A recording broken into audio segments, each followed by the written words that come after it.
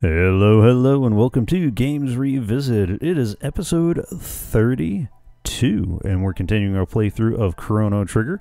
We just finished mopping up Magus, and uh, we we ended up back in the distant, distant past in 65 million BC, and found out that the Reptites came and destroyed the peaceful village, and we're about to enter the fight of our lives.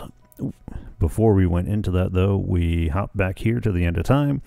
We did our little thing with Spekkio to uh, to get the magic capsule and the, all the special stuff that comes from beating him at each form. Because remember, if you get to him at level zero through or one through, there's no level zero. Yeah, one through nine, he has one form, which we didn't see because I, I didn't want to drag out all the fights at such a low level uh, to make that happen. I highly encourage you try that on your own, though. So then there's the other one from 10 through 19, which we saw, and then 20 through 29, which we just did, which means when we get to level 30, he'll be a new form and he'll offer up a fresh set of prizes for you. You only get it once per banded of levels. So kind of keep that in mind as we go. And also, if you're watching live, this is a reminder that um, when I get done recording this episode, I'm going to stop the stream early. Feeling a little under the weather, and um, and if you're uh, if you're watching this on YouTube, hopefully by Saturday I felt better and recorded the rest of the episodes as normal. Today, though, rather than getting too deep into the 65 million BC stuff, we're going to take a look at a couple of things, both in. Uh, we're going to poke around a little bit here and there and show off some of the changes that have happened. So, if you remember Medina Village in 1000 AD, that's where the fiends lived. They were worshipping a statue of Magus, and there was uh, all sorts of fun and interesting stuff. We're about to pop out the wardrobe, all, all Narnia-like, and let's see. Why is there magic in you? Magic using humans were supposed to have died out long ago. Medina village of fiends, founded by our ancestors when they lost their war against humankind 400 years ago. Okay, so most of them still have a grudge against us. Keep that in mind. That is the residence we just came out of. Uh, let's hop up to the Elder's house real quick. This work is brutal. They still honor the statue of Ozzie the First in the village square. Wait, Ozzie the First? Last time it was Magnus. Blast that Ozzie, always hiding behind his ancestral fame to boss us around. Hmm. A fearsome beast lives in the... Oh, yeah, well...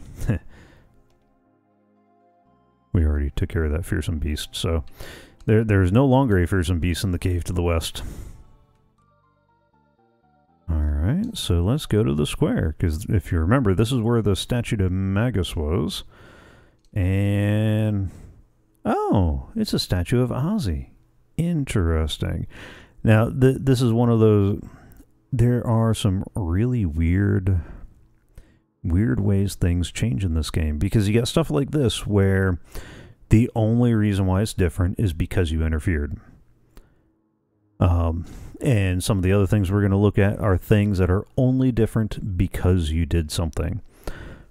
But if we were to go using like the new game plus, or if we ground up to a high enough level to do it and pull it off anyway, if we were to go fight Lavos now, uh, before the next bit of quest that we have to do with Ayla, you get an ending that suggests that because you didn't do that part, history turned out very, very different. So it seems like there's some things that happen uh, only because you interfere.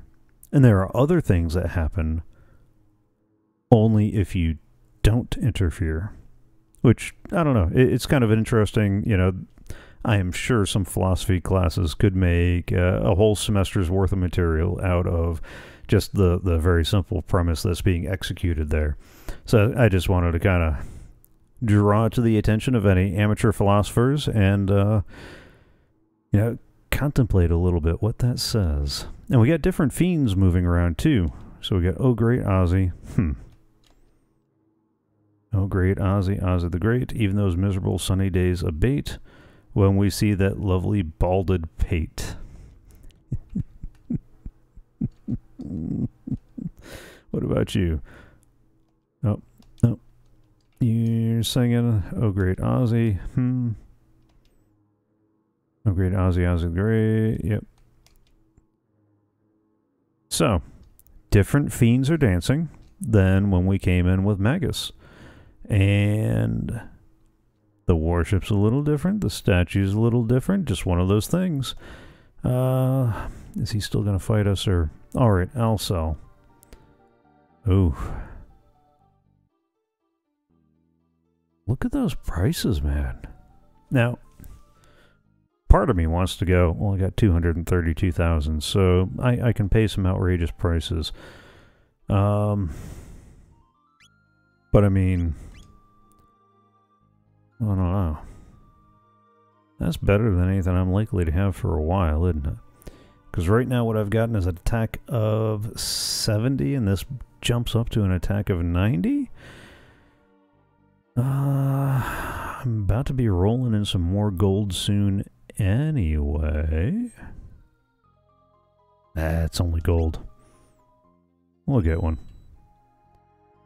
And let's go ahead and equip. Why did I keep that slasher? Oh, because I haven't had a chance to sell it yet. Oh, no, no, no, because I picked that up off of Slash. Alright, so, and it does one and a half times damage to magical beings. Sweet. Yeah, so the Primeval Blade went attack of 70. We're up to an attack of 90. Always nice. And let's go ahead and... Can we sell the slasher? Alright, everybody's got a ruby vest equipped. Except me? Oh, we pick up a... Alright, um... Yeah, we need to clear out some stuff. Alright, Iron Sword. That can go. Our Death Claw. That can go. Our Primeval Blade. That can go. Our Bronze Helm. That can go. Our Stone Helm. That can go. Bronze Armor. Can go. The Misty Robe, one of these two ladies needs to equip it. And the Ruby Vest is either as good as or already equipped on everybody else. So let's go ahead and sell that. Let's back up. Let's equip. And... Oh, I've got two mist robes. So that's going to go from a defense of 45 to a defense of 54. Now here's the kicker. As much as I like having the higher defense, the Ruby Vest has fire damage. And using my mystical ESPN, I know, sorry, I know that we're going to want to have fire damage reduction for a bunch of stuff in, uh, it, okay, uh, for a bunch of stuff coming up. So, um, all right, I didn't mean to close all the way out of that. The luminous robes might be nice. The radiant plate. That's a defense of 64. That's right, he's got the dark mail. That's a 45. And the ruby vest has a defense of 45. But again, we're greatly increasing the defense value at the expense of the fire damage. So I might hold off until until we finish um, finish up uh, something else, and then uh, and then we'll then we'll go from there. All right, and inn. No, that's the inn. And the, the forest ruins we'll get to a little bit later. We do want to refresh that that is there.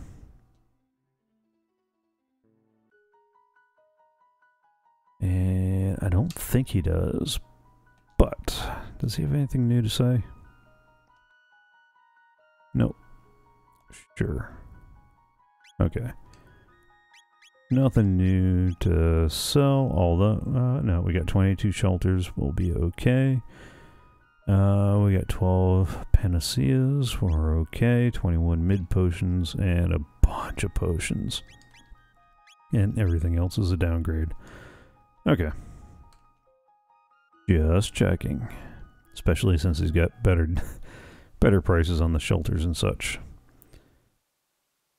So that is one change that's a little bit different, and there's another one that I want to get to as well. Come on. Climb down the ladder. Kind of wish they gave you a shortcut through this cave once you beat it the first time. Like, open up a ladder somewhere or something.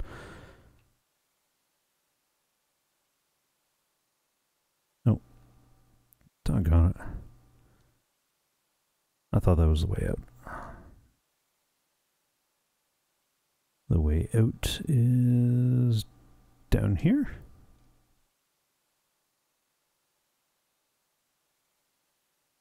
Yes. Oh yeah, don't forget that box. We'll need to remember that at some point.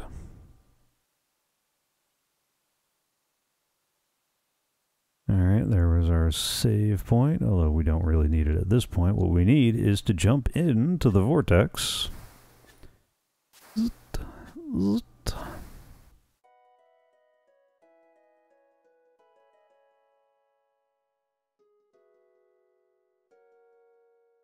And let us go see the king, because something's going to be a little bit different right now. We'll skip the fights that are, you know, seriously. Ah, fine. He's gonna start something. Guess what? I know exactly how to finish it. Boop.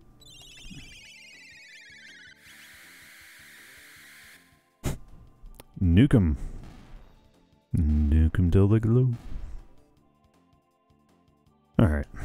10 XP. I guess, I mean, there's three of them and three of us, and we could have actually done a... Oh, fine. Regular fight without burning the magic points. Fine, we'll do that this go round.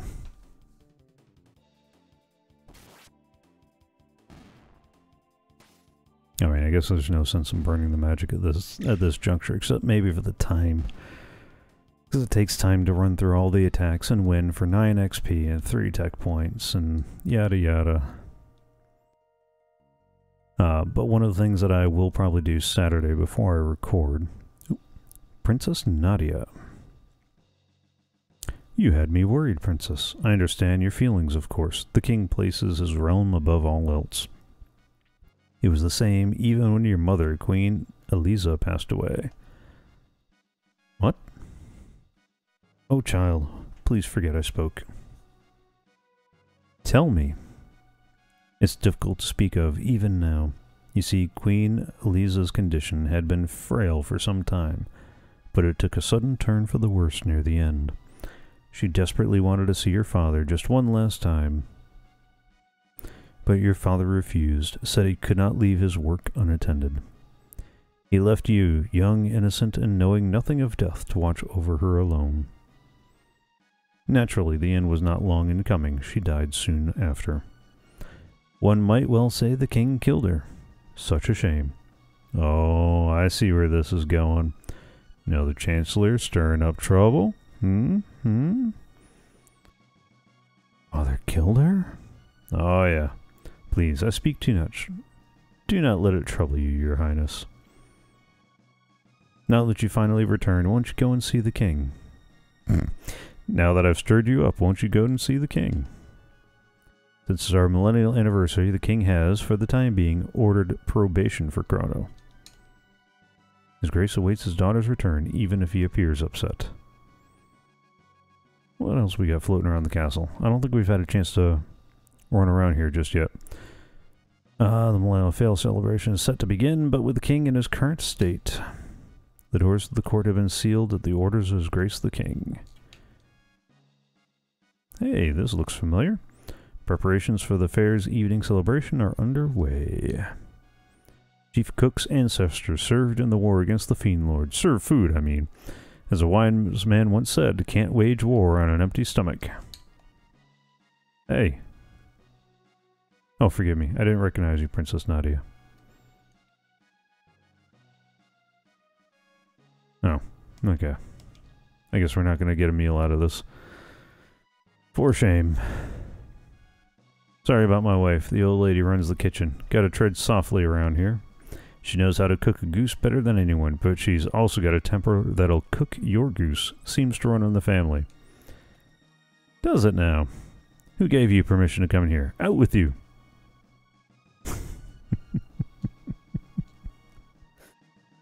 Alright, let's, uh, ooh, we get a box. And we get a turbo ether. And another box that is locked. Hmm. Wonder what could be in there. What's up this way? What are you doing here? Do you want to be put on trial again? Well, not particularly, no. Alright, so we got that done. Let's poke around the other side now.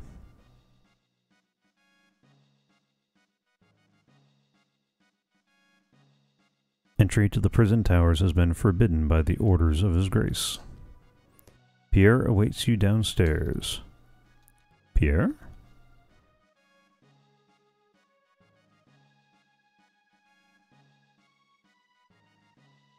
The Chancellor hired all of the guards who manned the prison towers.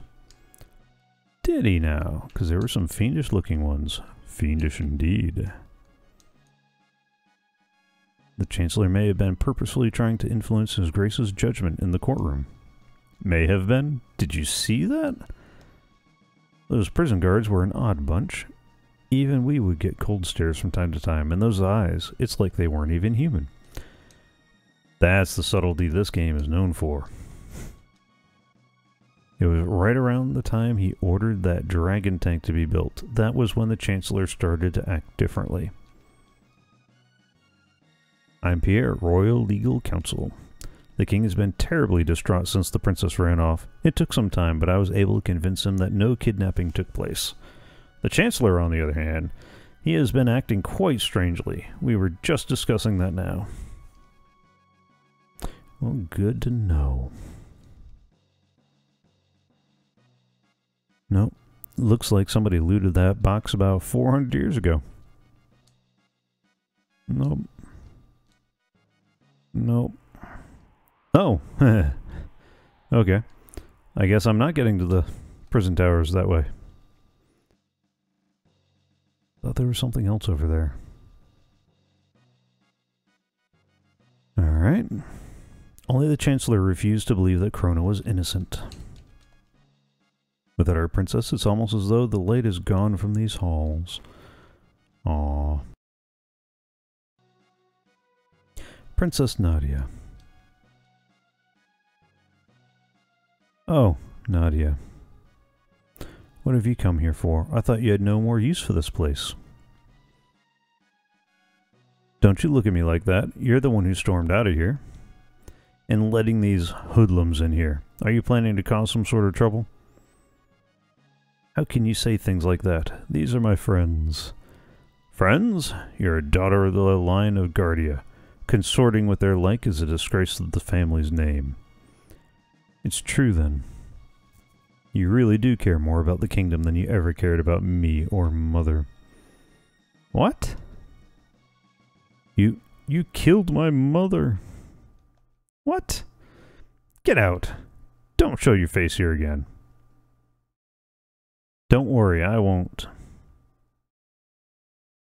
Um. Hmm. Do as you please. You are not my daughter.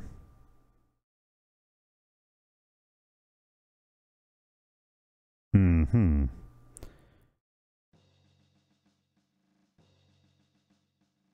Oh dear. We need our princess here. Alright, let's, uh, what else we get? Princess Nadia is the very image of her late mother. I suspect that's why the king's always so strict with her. Alright, let's try to hustle up here, because there's one other stop I wanted to make before everything was done. Look, a box that was looted a long time ago in the past. And a turbo ether.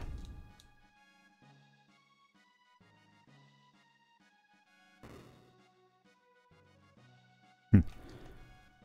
I'm the personal tutor in charge of Her Highness's education. Hello, I'm in charge of the princess's physical fitness. I am in charge of discipline. This latest incident is all my fault. I should have been more strict. Mm-hmm. And a mega elixir?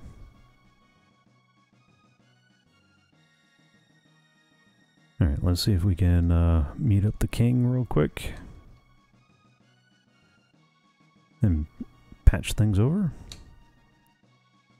Because he's just going to sit there going, oh dear. Oh bother. And what can we loot here? An elixir. And that's that sealed box. We got to remember. Don't worry, those mysteries will be revealed soon enough. His Grace is deeply troubled by Princess Nadia. It's hard for a king to seek advice about family matters. Well, ain't that the truth? After the death of Queen Eliza, Princess Nadia became His Grace's entire world. Aww.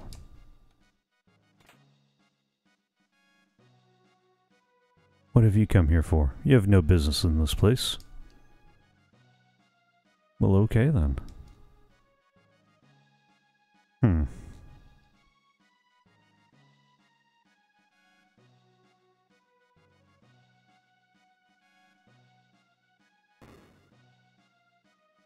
Alright, I got one more thing that I wanted to check on before we wrapped up today's episode. Oh. Let's wrap these guys up real quick. Bam.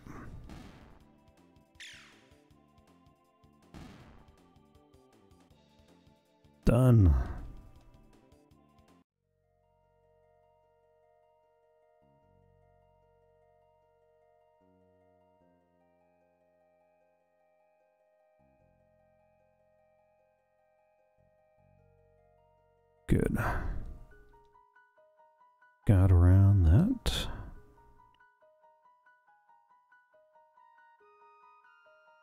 Get back to this part later.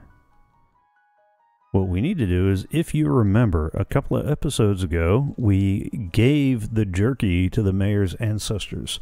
So we went back, we bought the jerky, we went back to 600 AD, and the old lady who was looking for some spiced jerky uh, we had the option to refuse to give it to her, to charge her for it and make a 100 gold profit, or to just give it to her. We just gave it to her, and she said something about making her family more, uh, teaching her family the value of generosity. And if you remember, this is the dude who'd pay 10 gold to cluck like a chicken. His family hated him and all that good fun stuff. And now we have, I wish my husband were just a touch less generous. I mean, it wouldn't kill kill him to save a little for us, would it? Oh, that's different. My dad is my favorite person in the whole world. That's different too. I love my daddy. Help the needy, share and share alike. Thinking about making that the town motto. Well, isn't that different? That's a lot different from, I have so much money, ha ha ha. Everybody says daddy's magnanimous, but he says he's just big boned. Um, I forgot that they threw in that joke. So again, this is another case where it's one of those things that it only changes because you did something. If you didn't do something, then no difference. Um, yeah, I think we're going to want another bit of jerky at some point in the near future. I forget when and to what end. In the meantime we're going to head back to the end of time to save it because we're going to need to go to um, we're need, to need to go back to 65 million BC and continue from there. Uh, if I'm feeling up to it, I will grind up some levels just to get uh, get ahead of the power curve a little bit. And maybe get everybody's tech up just a little bit more. Try to get some of the dual and triple techs ready to run. Because the, the Nus are not going to be as good an XP source for very shortly. Especially when you start getting into 4 and 5,000 XP to the next level kind of deal sorry, 48, 41, 41. I mean, the, they're worth it, but they're not. Now we're getting at the the edge where they're. So it's a long grind for levels. Um, the big pull for them though is for the tech points because he is almost at his max tech. 602 tech points needed at 40 tech points a pop. That's not that far off. And oh, got it. There we go. I was like, I thought she had another one. Got yeah. So cure cure two's not that far off. That's to a single ally. Lucca's getting her megaton bomb again, not that far off. Frog is going to get his aerial strike in like two battles with a Nu because we definitely need to get him caught up to the rest of the group, at least as far as tech points go, if nothing else. Robo's really close to his rapid fire fist, which will open up some new dual techs and that sort of thing. So that that is definitely going to be uh, on the agenda. The question is making it happen. All right, so let's go ahead and save here. And this is what I'm going to say. Thank you for joining along so far. And if you're watching live on Twitch or Mixer, um, I apologize for not going my usual length. I'm calling it early because I am feeling a little under the weather. Hopefully, hopefully I'll be feeling a little bit better on Saturday. In which case, uh, I'll probably live stream the recording of the other four episodes because I normally do six episodes every Thursday and release them out throughout the week. So, in other words, uh, the live stream is me live recording six episodes straight. It gives you the opportunity to chat live with me. So if you've got questions that you want more immediate feedback on, then watch live. There's links to Twitch and Mixer, which I simulcast to down in the description below. And um, and so with all that, and, and oh, and if you haven't already, also subscribe to the YouTube channel. It uh, definitely helps the channel out, and you'll get notified when new episodes and content get posted. And so, um, hopefully, I'll have. hopefully, YouTube folk won't notice a disruption in the schedule. That is assuming that I'm feeling better on Saturday. If not, I apologize for the uh, change in schedule, and definitely by next Thursday, we'll all be back on track. So, with all that said and done, have fun, take care and I'll see you next time, whenever that is.